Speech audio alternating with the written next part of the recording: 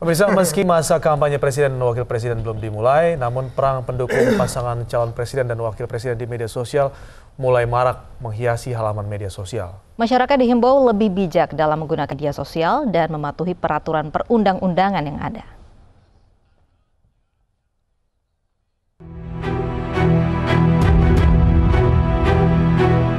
Pesta demokrasi pemilihan presiden dan wakil presiden tahun 2019 semakin di depan mata.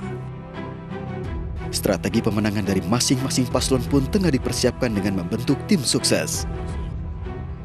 Salah satu proses pemenangan yang dilakukan pemilu, di antaranya menggunakan media sosial sebagai sarana politik bagi para pendukung calon yang berlaga untuk membentuk opini serta mempengaruhi publik dalam menentukan pilihan.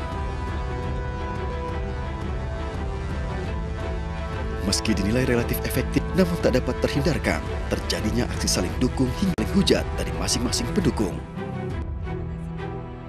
Media sosial yang sedianya sebagai ruang publik yang terbas kini telah bertransformasi menjadi ruang tanpa batas bagi masyarakat modern dengan mengandalkan teknologi informasi sebagai sarana penyampaian pesan.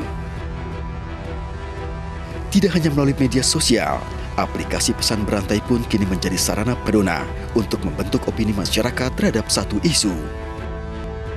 Meski pedoman penggunaan teknologi informasi telah diatur dalam Undang-Undang Nomor 19 Tahun 2016, namun potensi terjadinya pelanggaran tak terhindarkan. Tidak hanya sebatas pedoman, hadirnya Undang-Undang ITE tersebut sebagai langkah jitu bagi masyarakat untuk bijak dalam menggunakan media sosial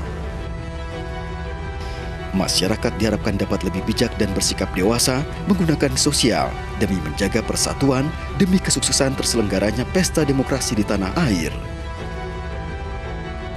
Tim Liputan iNews melaporkan.